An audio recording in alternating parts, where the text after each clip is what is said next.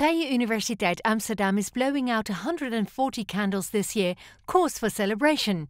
That's why the 2020 2021 academic year will be the Kuyper Year, in honor of the legacy of VU Amsterdam's founder, Abraham Kuyper. But why did Abraham Kuyper found a university? Wasn't he a politician? And didn't he start his own church and a newspaper? All true. A classic Renaissance man, Kuyper was a passionate defender of democracy. His convictions led him to found the Netherlands' very first political party, and he would eventually go on to become Prime Minister of the Netherlands. Thanks to Kuyper's efforts, ordinary people were able to unite behind a shared political vision for the first time and to stand up against the ruling elite. Political freedom was born. Kuyper was also an advocate of diversity, preferring openly conflicting opinions over silent consensus.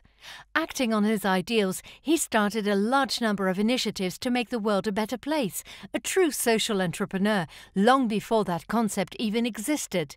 Funded by a number of wealthy friends like the brewer Willem Hovy, Kuyper founded Vrije Universiteit Amsterdam in 1880, but his fellow church members, people of ordinary means, also chipped in by donating some of their savings. Vrije Universiteit Amsterdam was to become a university where science could be practiced freely without the involvement of church or state. A place where scientists would have the freedom to do research and teach, motivated by their own personal convictions. Kuyper's commitment to democracy, diversity, and social entrepreneurship is still very important to VU Amsterdam.